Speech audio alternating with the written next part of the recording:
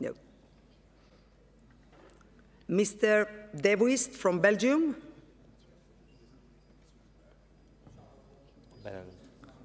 Mrs. Carmeli Martinez from España? Please, the floor is yours. Thank you very much. Um, I'm going to speak in, in Spanish. Eh, la invasión rusa de Ucrania ha demostrado lo peor a lo que son capaces de llegar los tiranos. Hemos visto una violación de derecho internacional, un atentado contra los derechos eh, humanos y, contra cualquier regla internacional sobre los conflictos. Sin embargo, también hemos visto otro aspecto menos conocido, pero igual de destructivo y con el que tenemos que mirar con una visión a medio y largo plazo que, eh, que ha producido esta invasión y es la utilización del medio natural como una víctima más de las ambiciones territoriales de un dictador como Putin. No solo se ha amenazado de forma abierta con utilizar la central de, eh, Zaporilla como arma, con la voluntad de que la radioactividad resultante acabara con los ecosistemas y con la vida de miles de personas. En lo que llevamos de invasión rusa, más de 900 de las áreas naturales protegidas de Ucrania han sido destruidas por las actividades militares de las tropas rusas. Es más, alrededor del 30% de todas esas áreas protegidas de Ucrania, que suponen unos 1,2 millones de hectáreas, están sufriendo los efectos de la guerra. Es necesario que desde la OSCE impulsemos un marco de actuación que permita investigar esta situación, depurar responsabilidades y llevar, cuando llegue el momento, a sus responsables ante la justicia. Los liberales españoles así lo hemos propuesto en nuestro Parlamento y esperamos encontrar a otras fuerzas políticas en esta sede, en esta Asamblea, a nuestro lado para conseguir eso para proteger el medio ambiente, para responsabilizar a quienes han perpetrado esta invasión y para recuperar el patrimonio natural de Ucrania. Queremos también aprovechar esta intervención eh, para dar una vez más nuestro apoyo a Ucrania, a su presidente, a su gobierno y a todos los ciudadanos que hoy todavía siguen luchando cada día como pueden para, para, para resistir y sobre todo para resistir no solo la guerra, sino todo, todas las circunstancias que, que, la rodean, como la falta de electricidad, la falta de alimentos y, y la falta incluso de, de, ayuda humanitaria. Muchísimas gracias. Thank you. Now, Mr. Chural Galiev from Azerbaijan. Thank you, uh, dear Chairperson, dear colleagues. References by the Armenian delegation to democracy and human rights are derisory in nature, we remind that these references are made by the country which, during its aggression against Azerbaijan, committed countless grave violations of human rights of Azerbaijanis, subjecting them to ethnic cleansing, forcible expulsion, and other gross war crimes, and denying them their basic human rights for years. Thus, Armenia is the last country in, in this assembly to criticize and lecture us on the issues related to democracy and human rights. We regret that the delegation of Armenia continues to misuse the international platforms, including the OSCE to project its false narrative and demonize Azerbaijan. These attempts are complete distortion of facts and realities on the ground. Before accusing Azerbaijan, we would advise the Armenian representative to reflect on violations of human rights in his own country. We remind that Armenia only during this year in Armenia, police officers obstructed and assaulted protesters, journalists have been silenced, civil society activists have faced violence. Azerbaijan is on the record, including in this assembly, for tirelessly promoting the signing of a peace treaty based on the five basic principles grounded in international law, including mutual recognition of and respect for the sovereignty, territorial integrity, and inviolability of internationally recognized borders and political independence of each other, the key word here, here is mutual, the limitation and demarcation of state border and unblocking of regional communications. Progress along these tracks falling within the scope of bilateral relations between Armenia and Azerbaijan is indispensable to durable peace in the region. However, Armenia keeps evading from implementation of its obligations and delays normalization process between two countries. So now all efforts must be directed at ongoing post-conflict normalization process between the two countries, and we call Armenian delegation to come to table to Azerbaijan and to find a final peace deal between the two nations. Thank you. Thank you. Now, Mrs. Elise Samili from Belgium. The floor is yours. Thank you. Thank you. Uh, dear colleagues, uh, to start off, I want to reiterate my support to the brave and sovereign nation of Ukraine that is fighting for its independence and its very existence against Russian military aggression. I strongly condemn the missile attacks and bombings of Ukraine cities and uh, vital infrastructure, leaving many civilians without water or electricity just now winter is rapidly approaching. These uh, Russian war crimes are a consequence of losing ground and trying to break the Ukraine will to endure their war effort. Dear colleagues, I believe the OSCE is a favored uh, forum for diplomacy and collective security in Europe between NATO and its partners on the one hand and Russia on the other. Most of all, we wanted to prevent this bloodshed on the border of Europe, reminding us of the darkest pages in our history. Now we must do all that is in our power to prevent wars. Know that the war has come to a status quo that will be difficult to change. No time is better for de escalation and dialogue. The only durable long term solution to this awful crisis is a diplomatic and political one. Thank you. And now, Mrs. Uh, Mr. Rosat from Poland. Rosati, Rosati from Poland he isn't here. is not here. So let's try again. Our colleague from Lithuania, Mrs. Alekliate Ambramikiele. Mrs. Maga Bocho Rasvild from Georgia. No. Thank you, I'm here. Okay. The floor is yours, please. Dear colleagues, uh, we are gathered here in Warsaw, members of Parliamentary Assembly of the organization which was created to ensure peace and security in Europe. But as we speak here, the norms of, and principles of international law are being undermined, the principles on which European security is based. We have to remember that aggression against Ukraine is a continuation of the same pattern Russia has started in Georgia, resulting in ongoing occupation of Georgia's two integral regions, Abkhazia and Tskhinvali. Georgia has repeatedly experienced Russian aggression and continues to fight against Russian occupation and painful consequences even today. Therefore, we know well the bitter taste of Russian aggression and occupation and stand in strong solidarity with Ukraine and Ukrainian people. Russia bears full responsibility for its brutal actions, and it is imperative that accountability for all those who are responsible for war crimes and crimes against humanity are ensured. Unfortunately, in 2008, when Georgia became victim of Russian aggression, our territorial integrity was blatantly violated. The international community failed to give an adequate response that would prevent the same actions in Europe. Today, we must speak with one voice and make it clear that there is no place for brutal military invasions in Europe. We have to be clear and firm. States should not be punished for exercising their sovereign rights to choose their own present and future.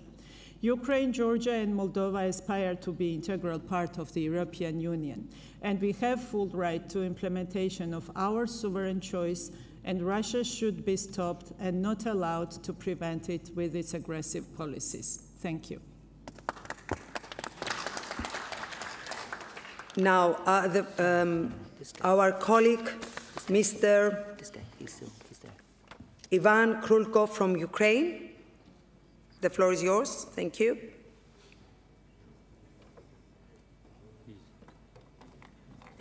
So thank you, uh, Madam Chairperson, dear colleagues.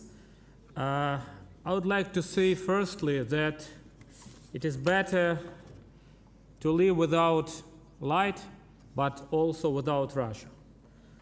For nine months of war, the Kremlin has failed to reach its main goal, conquest of Ukraine, and has instead tried to shift its powerlessness to civilian infrastructure and people. Mass crimes, including murder of civilians, bombing of residential areas, deliberate strikes on critical infrastructure, missile terror on peaceful Ukrainian cities.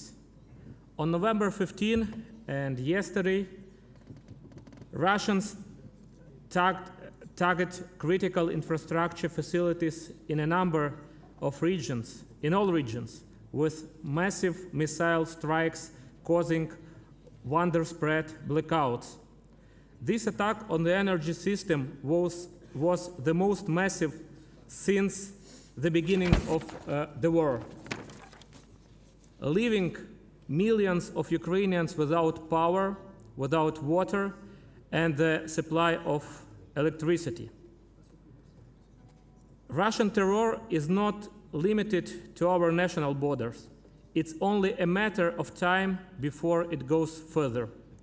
The massive shelling of the energy infrastructure of Ukraine may also have an impact on the energy system of some neighboring countries, like, for example, Moldova, as the Russian forces are hitting both generation plants and the electricity transformation system. Russia's illegal war on Ukraine is also an attack on the OSCE principles and values. And tomo- tomorrow, during standing committee, OSCE Parliamentary Assembly has very good chance to demonstrate that values are important for us. And I call to all delegates to do it tomorrow.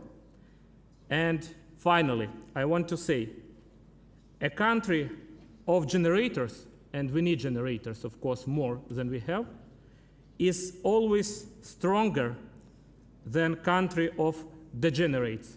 Thank you. Thank you, dear colleague. And now Mr. De Vuyst from Belgium. The floor is yours. Thank, yeah, thank you, uh, Mrs. Chairman.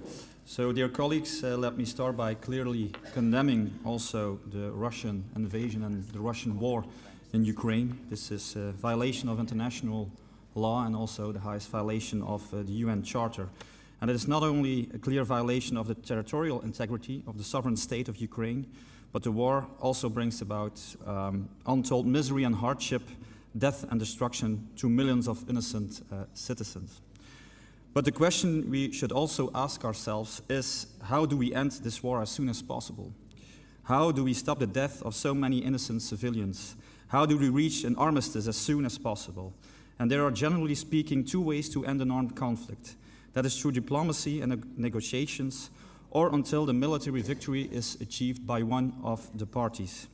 So that is why I, I, I believe and I think that diplomatic solution and negotiated settlement is uh, preferable uh, above a long during war because I think it's, um, it's, it's now urgent to reach this negotiated settlement. It's necessary and I think it's also possible. And we believe that the OSCE should, should take the lead in diplomatic efforts because when the armed conflict broke out in eastern Ukraine in 2014, several attempts were made to end it. The so called Minsk agreements, where the OSCE played an important role. And even though these agreements ultimately failed to maintain the peace in the region, the OSCE should renew and intensify its attempts to reach at least an armistice and to guarantee that the basic rules of international and humanitarian law are respected and uh, restored. And more and more people these days are calling for uh, diplomacy and peace talks to end this war. And it is just, it's not just the peace movement. Even US top General Mark Milley, the chairman of the Joint Chief of Staff, has stated that we need a strong push towards uh, diplomatic uh, solution. So uh, I think we also need um, a broader vision on security uh, within Europe, uh, based on multilateral relations, diplomacy, and disarmament on the long run, because you can only achieve peace between nations if uh, we do not stop to try actively invest in peace on the basis of and the principle of cooperative security. I feel safe when you feel safe, because this, I think, is, uh, the, reason, is the reason why the OSCE was uh, founded in the first place. Thank you. Thank you. And now, Mr. Mehmet Said Kirazoglu from Turkey. Is Thank he you. Madam Chair. Thank you. Uh, esteemed colleagues, I would like to thank panelists for their informative presentations. As known, this ongoing aggression continues to cause economic challenges, increasing challenges due to recent record spikes in energy prices and supply shortages are clear indica- indicator of the OSCE's relevance in this field. We believe that energy transition to the renewables and clean energy along with more secure and connected energy networks need to continue to be on top of our agenda.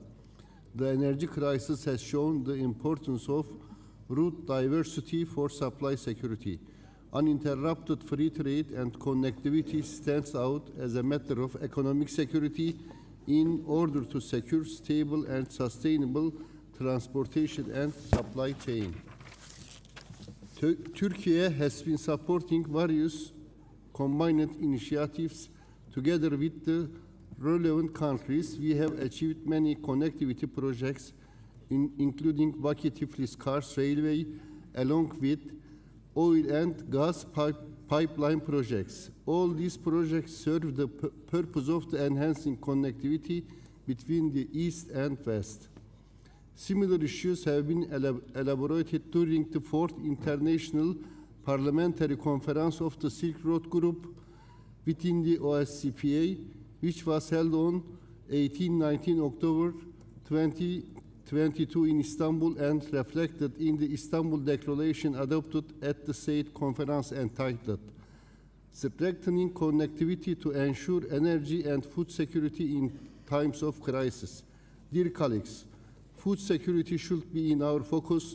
The Black Sea Grain Initiative marked a turning point in how we put the needs of those who are in vulnerable situation even at the times of war. The UN, Turkey and relevant parties have spared no effort to limit the suffering of those dependent on fertilizer and grain exports for their food security. The initiative has already moved millions of tons of grain and foodstuff. It brought the global food prices down. As a result of this initiative, the World Food Programme was able to intervene before famine took hold. Thank you very much. Thank you. And now uh, from Hungary, uh, Dora Duro. Dear colleague, the floor is yours. Thank you very much, dear Madam Chairperson. The peace is the most important for every one of us, I think. But unfortunately, the mainstream media and politicians from Western Europe usually consider countries either pro Russian or pro Ukrainian in questions related to the war and its economic consequences. However, it is a faulty approach because every politician can and should make decisions based on their own country's best interests. If I, as a politician representing Hungary, say that I don't want Hungary to be devastated in this war, which is in fact a game of the great powers, namely the USA and Russia, I'm neither pro Russian and I'm nor pro Ukrainian. I am definitely pro Hungarian. I firmly believe that we do have the right to decide in accordance with our own interests, whatever the issue is in connection with the economic consequences of the war. All this is important because it is clear that one of the greatest losers of the whole war is Europe, and one of the winners is the USA. As European politicians, we cannot take a stance which comes with weakening Europe, making our people poor, and making them, making them give up their safety and future. We have to care for providing safe energy and food. This must be our main objective. So we have to make it clear that the sanctions do not work. Let's put an end to hypocrisy and the nearsighted way of thinking. The safety and the future of Europe and our countries must come first. Thank you. And you were on time as well. Uh, Mr. Christos Senekis from Cyprus. Thank you, Madam Chair. Dear colleagues, preliminary monitoring of the environmental impact of the war in Ukraine conducted by the United Nations Environment Programme points to severe air, water, and land pollution. The degradation of ecosystems in urban and rural environments could leave the country and the, the region with a toxic legacy for generations to come. The full range of severity of the environmental consequences will require verification and assessment. Therefore, the access to competent international organizations must be must be made possible and be facilitated. Needless to say that any radiation leakage in Ukraine will have long-lasting devastating effects to vast regions of Europe and Middle East. The latest blast near Zaporizhia power plant are a constant reminder that a nuclear catastrophe could not uh, be excluded. The implementation of nuclear safety and security protection zone around nuclear facilities as soon as possible remains an uh, imperative and very urgent necessity. Aside the severe environmental consequences of the ongoing war in Ukraine, its huge economic impact is also looming range, large. The much needed diversification of sources of energy supplies must keep the energy bills of our citizens and business reasonably, uh, reasonably priced, while efforts to increase the share of clean sources in our energy mix must continue. In this respect, Cyprus has engaged in promoting cooperation and synergies with countries of the region, namely Egypt, Israel, Lebanon, Saudi Arabia, which can make, make a substantial contribution to, towards achieving the diversification and security of energy supply. Moreover, the Euro-Asia interconnector will connect Cypriot, Greek, and Israeli power grids and will supply energy to continental Europe from renewable sources and low-emission natural gas discoveries in the eastern Mediterranean and can also significantly contribute towards achieving uh, this goal. Dear colleagues, while Europe and the US are sustaining significant economic losses as a result of sanctions imposed on Russia to terminate its violations of international law, other countries seek to harness economic benefits by actively helping evade the scope and impact of the sanctions in total disregard of the costs borne of our uh, citizens. In this regard, Turkey enjoys a large list of benefits in tourism, banking, and energy se uh, sectors as a result of its evasive uh, neutral stance and its role as a mediator for peace between Russia and Ukraine, a role which is in stark contrast with its own record regarding violations of international law and human rights resulting from Turkey's invasion in Cyprus in 1974 and the ongoing occupation of the island, as well as the continuously provocations regarding the Greek islands in Aegean Sea. Such opportunistic tax tactics you, must Senekis. not be selective, overlooked, and or tolerant if we really wish to, for peace and stability to prevail and for the rules rules-based international order to be kept alive. Thank you so much. Thank you. And now our dear colleague from France, Olga Givernet. The floor is yours. Merci, Madame la Présidente, chers collègues. Euh, disposer d'une énergie propre en quantité suffisante et à un prix accessible pour les citoyens comme pour les entreprises représente une condition fondamentale pour préserver notre sécurité économique et environnementale. Des efforts considérables ont été réalisés depuis plus de 20 ans pour atteindre cet objectif du développement des énergies décarbonées. Mais malgré les progrès significatifs accomplis dans ce domaine, la crise actuelle autour du conflit de l'Ukraine a révélé combien nous étions encore trop dépendants d'énergies fossiles carbonées comme le pétrole, le gaz ou le charbon. Nous savons pourtant à quel point elles nuisent à l'environnement, en particulier au climat et à la santé des populations. Face à l'urgence créée par cette crise, une démarche trop souvent oubliée ou négligée par le passé est à nouveau mise en avant dans, beaucoup de pays, la sobriété. Elle fait d'ailleurs l'objet d'une étude particulière au sein du Parlement français pour laquelle je suis rapporteur. Dans son dernier rapport, le groupement intergouvernemental des experts sur l'évolution du climat consacre pour la première fois un chapitre entier à la sobriété et en donne une définition précise. Il s'agit d'un ensemble de mesures et de pratiques quotidiennes qui permettent d'éviter la demande d'énergie, de matériaux, de terre et d'eau, tout en assurant le bien-être de tous les êtres humains dans les limites de la planète. Concrètement, la sobriété énergétique vise à réduire la consommation d'énergie par des changements volontaires et organisés de nos comportements, de nos modes de vie et d'organisation collective. Sobriété énergétique et efficacité énergétique sont deux concepts bien distincts. La sobriété est d'ordre comportemental et implique les changements de nos habitudes de consommation. L'efficacité énergétique agit sur la technologie pour réduire les consommations d'énergie pour un service identique. Cette démarche de sobriété doit impérativement être accompagnée par nous, responsables politiques, seuls à même de prendre les mesures permettant de faciliter les changements dans les comportements, les modes de vie et les modes d'organisation sociale, afin de les rendre souhaitables, sans distinction au sein de la population. En conclusion, la sobriété énergétique ne peut devenir un outil puissant, tous ensemble, aux côtés des énergies décarbonées et de l'efficacité énergétique pour accélérer la transition écologique. Je vous remercie. Thank you. And now from Finland, Mrs. Inka Hopsu. Madam Chair, dear colleagues, the war in Ukraine causes shocking humanitarian crisis. My thoughts are with the Ukrainians and all who suffer because of war, especially children.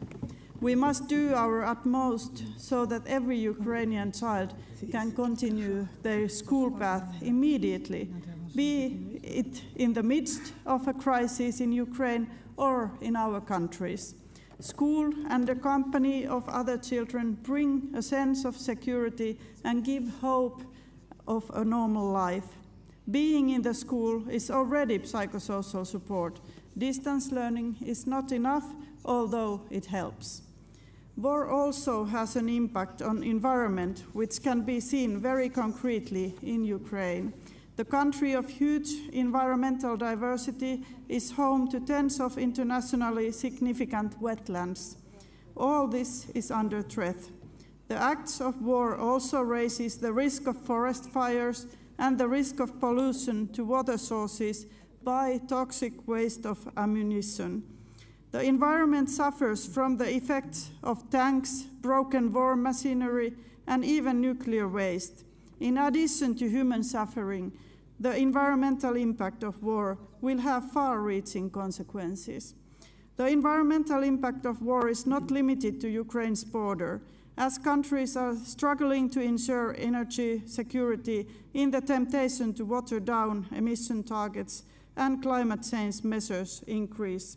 Yes, the energy crisis forces us to find alternative energy sources to oil and gas, but we must not do this at the cost of cutting emissions and fossil fuels.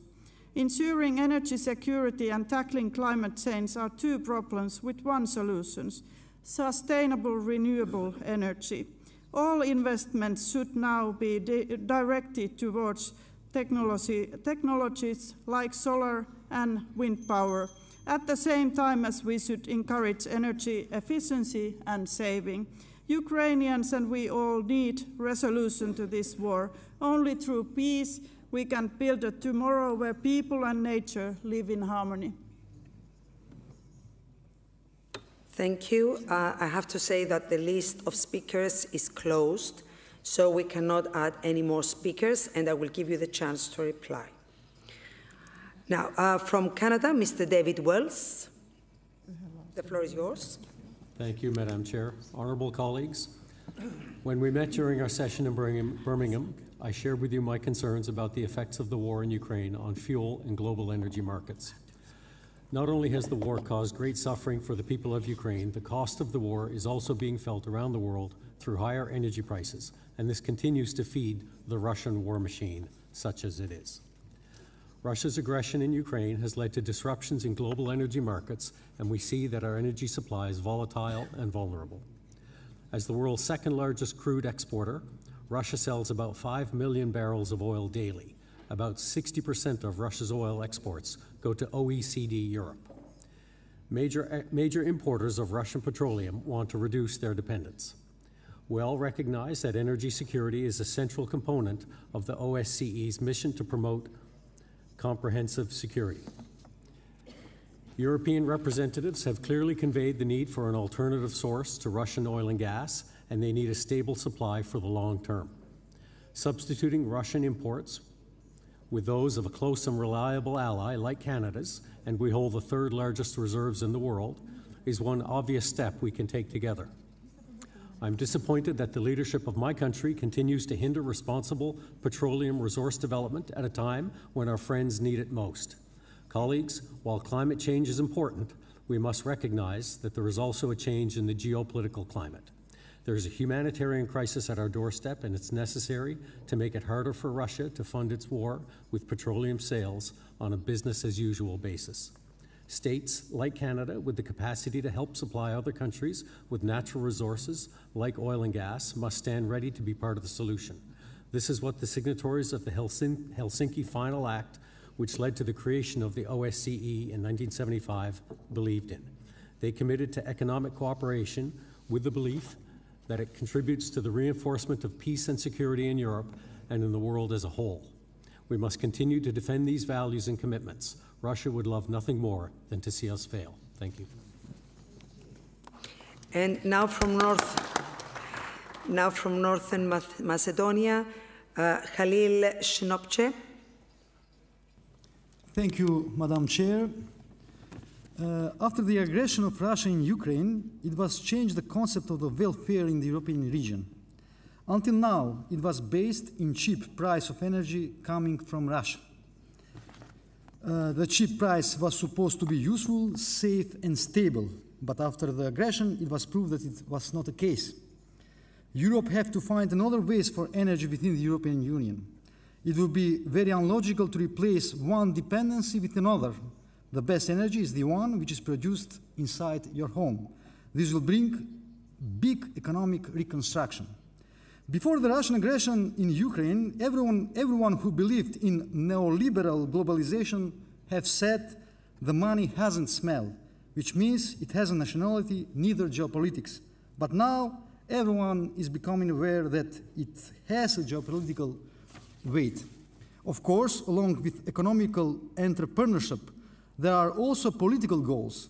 It has always been like that. Economy is a horse, politics is a knight. Neoliberals were blind, or they threw ashes in their eyes when they said that horses can race without a rider and everyone wins. So the world is changing. Europe is not it's no longer a flowery garden where are the spectators who see the change from afar. The Europe now is one of the centers of great changes. Are all governments thinking about the consequences and possibilities that open such an economic reconstruction of EU? Now, when European companies have closed their factories in Russia, would someone think and work for their approach in our countries? Now, when energy, is, uh, when energy is becoming a sector with great benefits for those who produce, will our countries be able to make an ambitious strategy for state, not private, production? The strategy that combines the development of the potentials of our countries.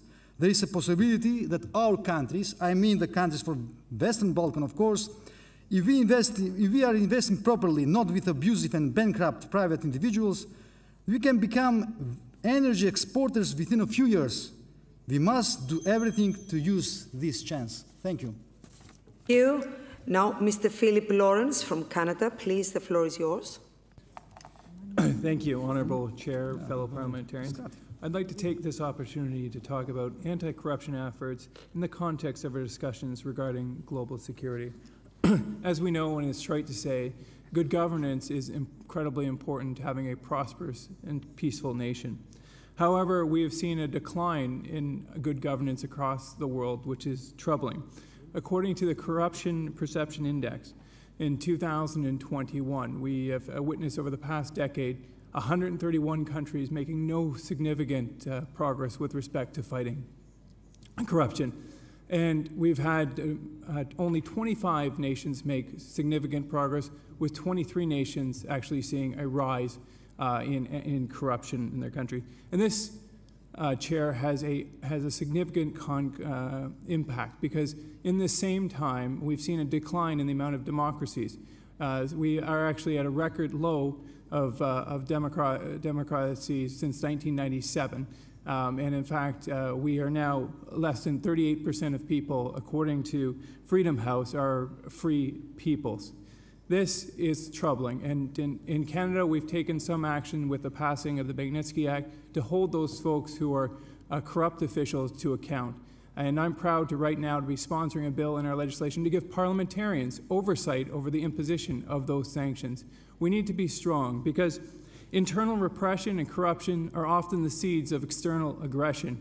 And we have seen that as Sergei Magnitsky years ago raised the red flag about the Russian Federation, and he was eventually he eventually died in a Russian prison. We need to honor his memory, and we need to be bold as an organization, and we need to be able to suspend a, a member who is flagrantly disregarding the principles of which this organization was founded. Thank you.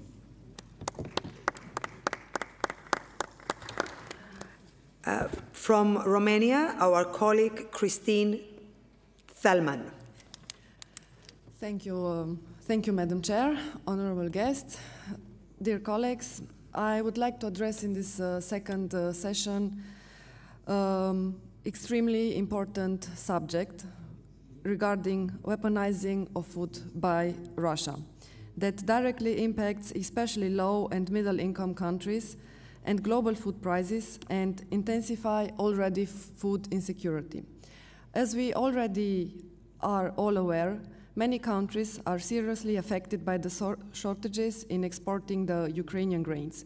Romania's efforts have been multidimensional and multi-institutional in order to accelerate the processing of Ukrainian grains in Romania and facilities and subsequently transfer them to different parts of the world.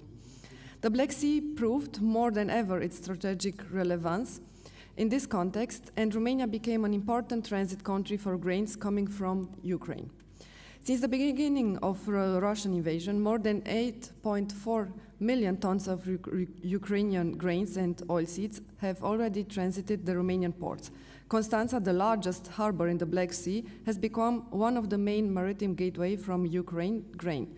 In addition, we upgraded the broad gauge railway links, uh, that links Ukraine to Romania, and therefore Galați, an important commercial city in my country, is able to process the trains from Ukraine through the railroad.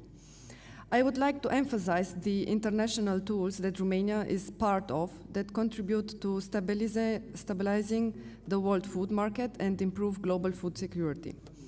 The UN brokered agreement, together with the EU Ukraine Solidarity Lane, has made a significant difference by allowing the export of grain and agriculture products from Ukraine to the global market and to the countries most in need, including the Horn of Africa, Yemen, and Afghanistan. In this context, we need to underline the and make everyone aware that the EU sanctions against Russia do not prohibit the export of agricultural food products between third countries and Russia. Romania continues to be highly committed to support Ukraine and to contribute to stabilizing world food markets and improve global food security. Thank you. Thank you. And now from Lithuania, our colleague Aleknaitė Abramikienė. He's not here.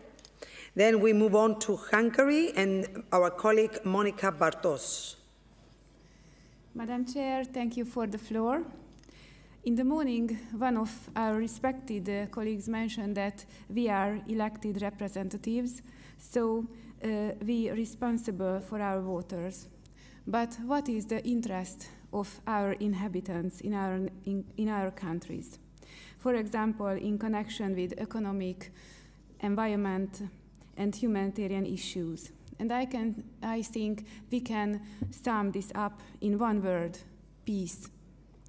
And we, representatives, do our best if we serve the peace.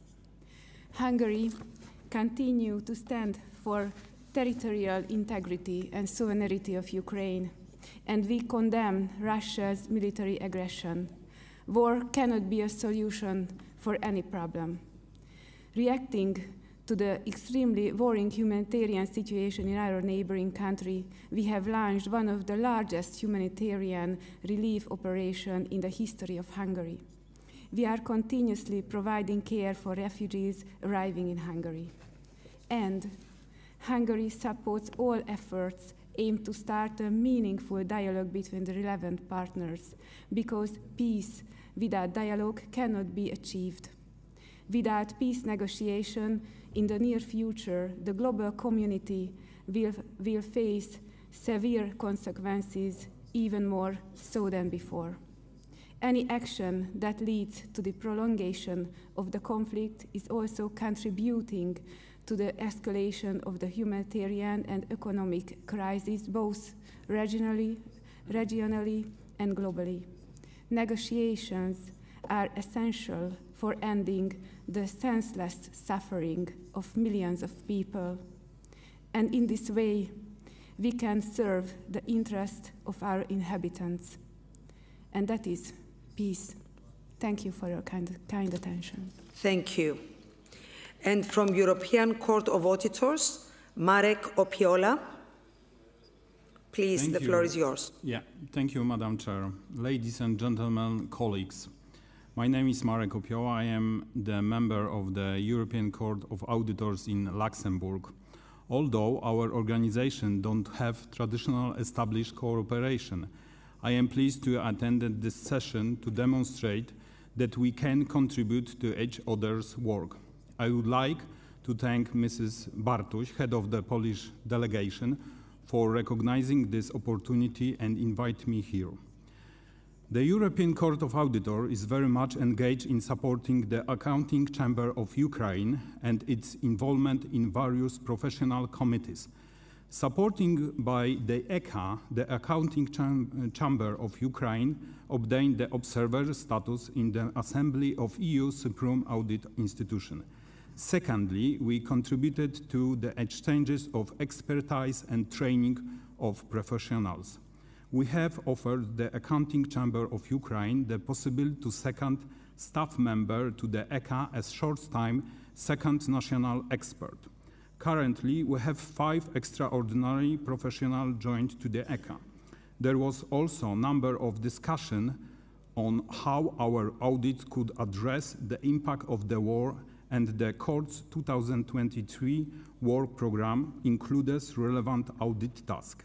In the upcoming year, we will, for example, examine US supporting for refugees from Ukraine, economic efforts of the invasion, and the economic governance in of the new realities and consequences resulting, among other, from the war in Ukraine. The court is currently working on this opinion on the target amendment of the EU financial regulation in relation to providing financial assistance to Ukraine from the EU budget through the course of 2023. We intended to publish in the next week. I would like to kind invite you to follow the result of our work. I am sure you will find them interesting and useful in your daily parliamentary work. Thank you. Thank you. And now from Austria, our colleague David Stögmüller.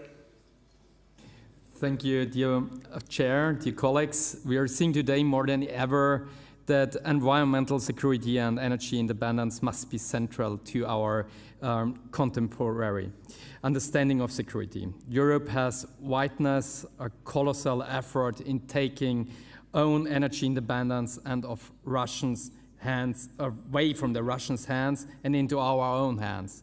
Austria alone has, uh, for our country has alone, has, with the help of allies, reduced our dependence on Russian gas from 85% to 20% and counting. This effort, effort shows that uh, committed regional cooperation can and does work. We must take many lessons from the UK, uh, from the United, uh, from the uh, from the Ukraine crisis into the post-war world. And the second thing I want to mention here is that we have, or we are in front of a big, uh, I don't know, it's like climate collapse is a faces all. It's a big crisis what's in front of us, what we have to mention. And it's a big problem. And I think I'm not alone here in the room. And there are many people, young people, uh, who are really disappointed, angry about the result of the COP27 conference in Egypt. Uh, in the painted depressive picture for global cooperation, a picture in which powerful nations blindly put economic interests over human ones, uh, a picture in which the number of fossil fuel lobbyists outweighs the number of conference delegates, and hopes for a globally binding agreement are once again deferred to the next year as a time for meaningful climate action runs out. Dear colleagues, dear friends, the OSCE exists to provide a forum through which to enhance security and enable cooperation. Well, it's clear to me that if we cannot work together better and quickly, our security challenge will only multiply. Environmental security is security. We cannot fight climate change with guns, but if we do not fight climate change, conventional threats and human suffering will only multiply. The time to act is now. Thank you, David. And now, Mrs. Gudrun Kugler from Austria. Thank you very much, uh, Mrs. Chair. Uh, dear colleagues, uh, now you will wonder why there's two Austrians speaking, one after the other. But the reason is that I do not speak as an Austrian member of parliament, but as the rapporteur for the second committee. And uh, I would just like to emphasize today that I'm listening to what you are saying uh, with the eyes of a rapporteur because I'm wo working on our report, I'm working on the resolution for next year. And there's also here in the room our chair of the committee, Azay Guliev, here uh, on this side, and our vice chair, Artur Gerasimov from Ukraine, is unfortunately not here. But we are listening to what you say so that we can incorporate your concerns, your suggestions into our work. And as we note from the multiple crises of our time, we see that the second committee really moves to the center of all attention. Almost, you could say, the second committee is the committee of our future. We want to work towards prosperity in our region, and prosperity needs, as a prerequisite, peace, it needs security, and it needs cooperation. This is what we want to work towards with your help and please do not hesitate to contact us with any other concerns that come to your mind in the next couple of weeks and months. Thank you very much for your attention. Thank you, my dear friend. And now from Spain, our colleague José Agenci Sabader. Eh, gracias, señora presidenta, queridos colegas, queridas colegas. Eh, España es corresponsable con la causa ucraniana. La causa de Ucrania es la causa de España. España es un país que está cerrado a filas desde el principio con la ayuda y con el apoyo a Ucrania y contra la agresión eh, rusa, la agresión de Putin, que ha devastado un país y amenaza además con la estabilidad del resto de Europa. España sabe perfectamente que esto como son las fichas del dominó. Si cae Ucrania, caerían otros países a continuación. Es la causa de España. España ha prestado, en ese sentido, una ayuda muy importante. Hay 135.000 ucranios y ucranias en España en condición de eh, residentes temporales y 35.000 niños y niñas que están escolarizados. El apoyo militar ha sido muy importante, es muy importante también el apoyo económico, el apoyo internacional en todos los foros internacionales a la causa de Ucrania. Máxime ahora, cuando resulta que no solamente la brutalidad del ejército eh, ruso está eh, siendo evidente y ha sido mm, calificado de terrorista en la última sesión del Parlamento Europeo, sino que además esto que está deshonrando a un ejército, porque no se puede mm, incumplir las leyes, las leyes de la guerra, no se puede intentar rendir a una sociedad por hambre, por frío. Esto está fuera incluso de los más elementales principios que rigen las leyes de la guerra. Y por tanto, la ayuda ahora ha de ser aún mayor. Ha de ser mayor porque eh, estamos implicados en una situación que puede terminar eh, asolando y mm, complicando el orden internacional. Sabemos que Ucrania va a resistir, sabemos que se va a restablecer el orden internacional. Y cuando ese día llegue, que llegará también, ahí me gustaría que esta organización, la OSCE, que esta organización se mantuviera unida y fuera un actor importante en ese momento que tiene que llegar y que debe asegurar la paz, la libertad y el orden internacional. Thank you. And now uh, from Azerbaijan, Mr. Tural Ganjaliyev.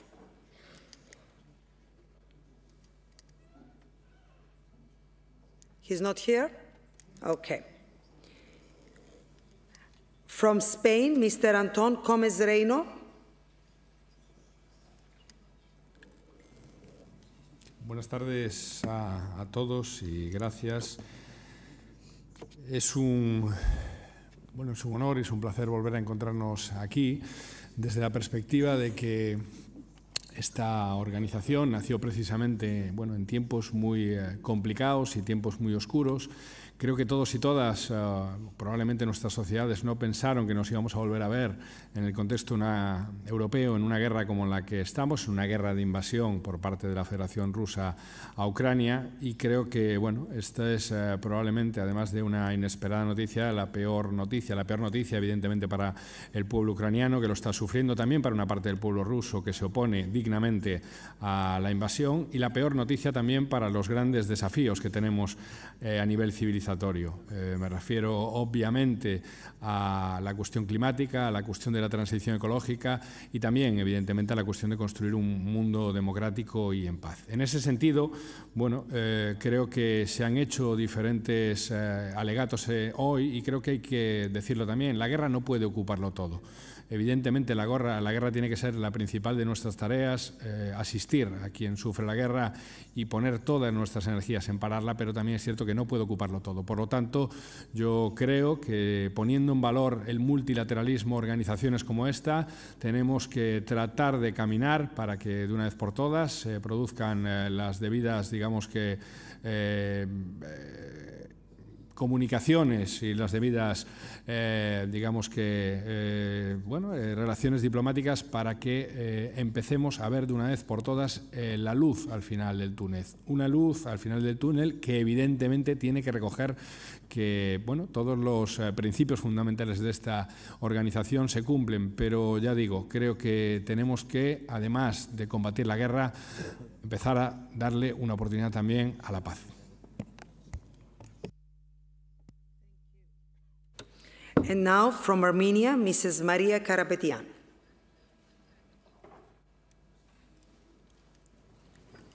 Thank you, Madam Chair. Dear colleagues, this year, the connection between security and economy has taken a new relevance for the whole world and this Parliamentary Assembly. I want to speak for the South Caucasus then. Armenia is a country that lives under an economic blockade by Azerbaijan and Turkey for already three decades. The November 9 announcement that ended the 2020 Nagorno-Karabakh war has a special point dedicated to deblocking all economic and transport links in the South Caucasus. This point gives hope that Azerbaijan would indeed turn the page of conflict as it often claims and start an era of cooperation in the South Caucasus. Azerbaijan has so far halted back the deblocking of all economic and transport links and insists on a special connection through Armenia without security and customs oversight of Armenia, a special corridor, as they call it. To justify this claim, Azerbaijan refers to the Lachin corridor, stipulated by that same November 9 statement, and the, corridor that Armenia uses to transport goods and humanitarian aid from Armenia to Nagorno Karabakh. The Lachin corridor is indeed not a road, it is a special humanitarian corridor. It is five kilometers wide, and it leads only to Nagorno Karabakh and does not go anywhere else onwards. It leads to a dead end. It is solely used to transport goods and humanitarian aid from Armenia to Nagorno Karabakh. The Armenians in Nagorno Karabakh are surrounded by their own defense forces and the Russian peacekeepers. These two are there only because the Armenians in Nagorno Karabakh are also under a siege by the Azerbaijani army. The Lachin corridor is therefore not part of an economic project, but a humanitarian corridor ensuring that Armenians in Nagorno Karabakh have access to food. Now, coming back to the blocking of communications in the South Caucasus, Armenia is ready to open all, I underline all of its roads, for Azerbaijan to use. Azerbaijan has said that it believes that the citizens of Azerbaijan may fear passing through the roads of Armenia and coming into contact with the border and customs officers of Armenia.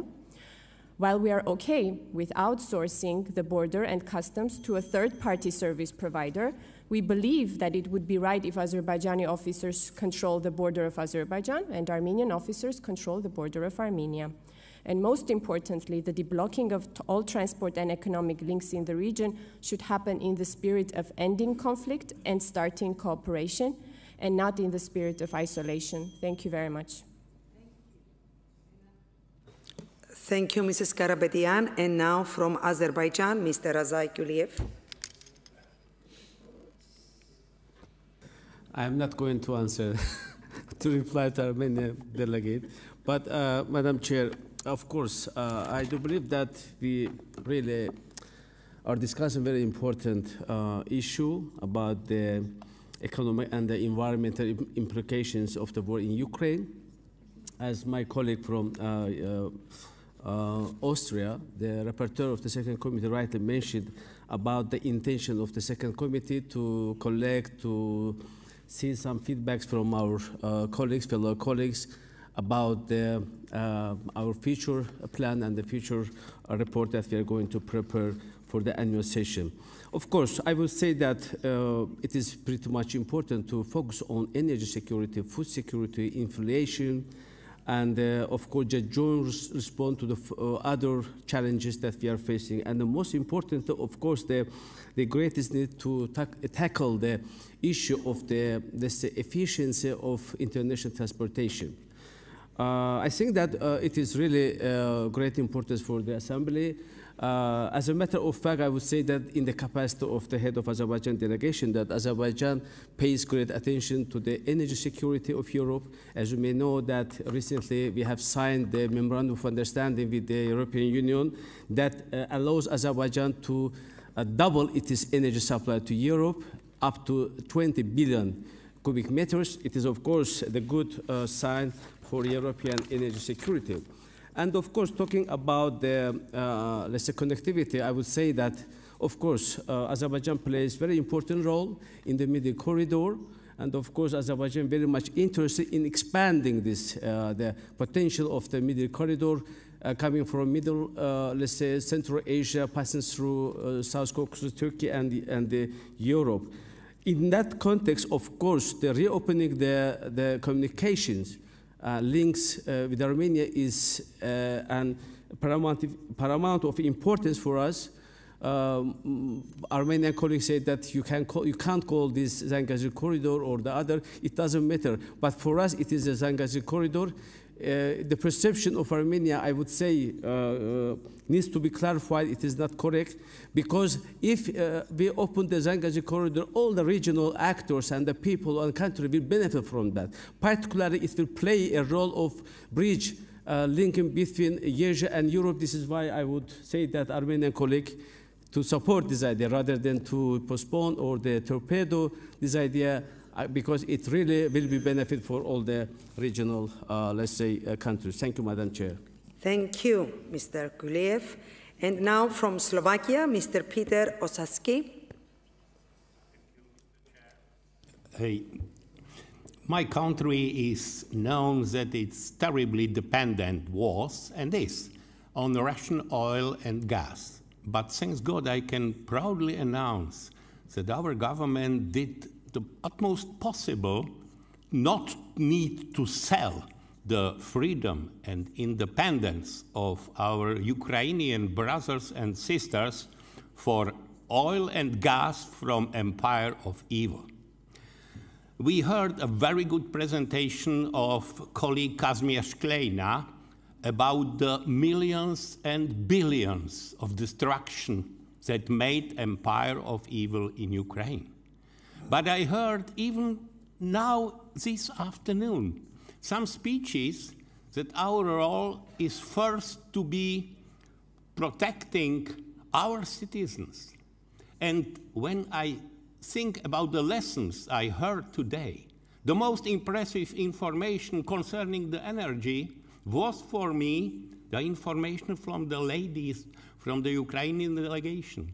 We should take all possible free generators and tents in our countries and send them to Ukraine because the freezing citizens need energy more than we that will step down from 24 in room to 19 because they are in danger of life. And so we never should exchange the fine mm, presence of us for tragic fate of other people. My country was in the situation when Daladier and Chamberlain changed Czechoslovakia for so-called peace. It's the way to hell to make appeasement with evil in any field. And that's why we should always think about if we are ready to exchange energy, gas, oil, and anything with a clear evil for the bad fate of Ukraine. Slava Ukraine!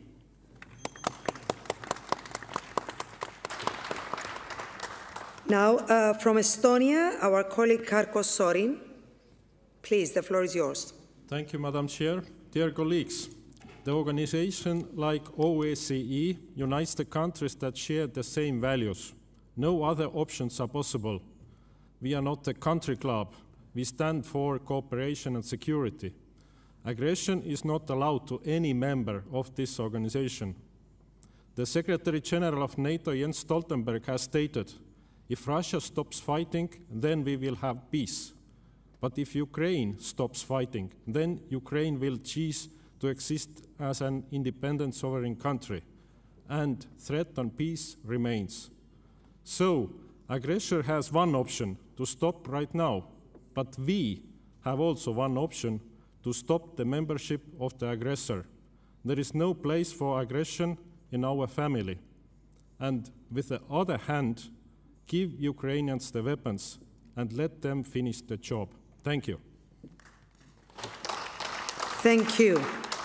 And now, uh, from Armenia, Mr. Edward Aghajanyan. No? No. Okay, thank you. You are off the list then. Okay. And uh, the Turkey, Turkey delegation ask uh, one minute to reply. You've got one minute. Thank you. Sayın Başkan, Güney Kıbrıs Rum Yönetimi temsilcisinin asılsız iddialarına karşı cevap hakkımı kullanmak istiyorum. Uh, I would like to um, uh, um, I would like to give the response to the um, allegation of the of the Greek Cypriot administration. Um, and as represent, representatives of the Greek Cypriot administration abuse the OCCAPA like other international fora. Güney Kıbrıs Rum Yönetimi temsilcileri her uluslararası platform gibi agit payda istismar ediyor. Uh, they use this platform as a CPA, like the other international forums, to uh, to abuse us. Gerçekleri çarpıtarak Türkiye'ye karşı hibrit saldırı yürü- yürütüyor. They are continuing the hybrid attacks um, against our country by distorting the facts. We reject these allegations. Bu iddiaları reddediyor ve bu tutumu kınıyoruz. Yes, we are against these allegations. Öte yandan Türkiye Kıbrıs adasında işgalci değildir. Uh, we, it is not the truth that we are uh, occupying the uh, island of Cyprus.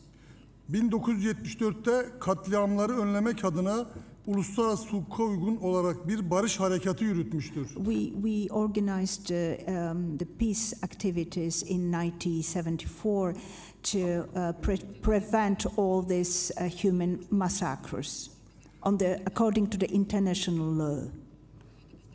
Ukrayna'da bir sıcak savaş sürerken zaman ve enerjimizi boşa harcamak istemiyoruz. Uh, during this war in Ukraine, we don't want to use, overuse our energy and uh, our words. Kaldı ki Kıbrıslı Rum delegelerin muhatabı biz değil, adadaki Kuzey Kıbrıslı Türk parlamenterlerdir. Uh, we are not counterparts uh, to discuss this matter with our Greek uh, Cyprus um, friends here. Uh, there is the matter of the, um, uh, the, the citizens of, of Turkish citizens of Cyprus and the, the two peoples, two nations uh, between them. Adada iki halk ve iki devlet vardır.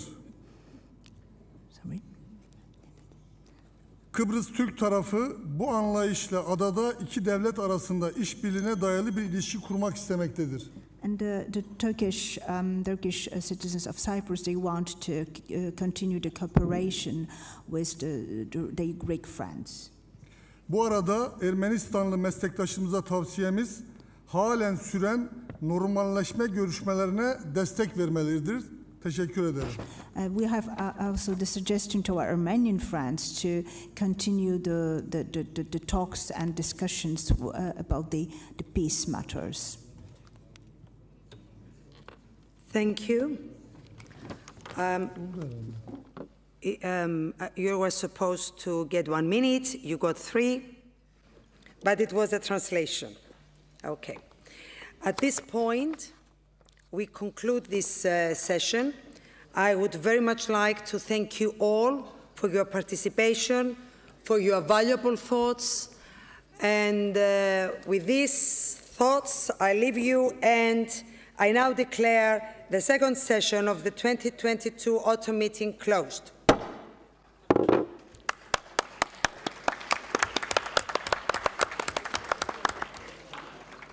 Thank you very much. Thank you. Thank you.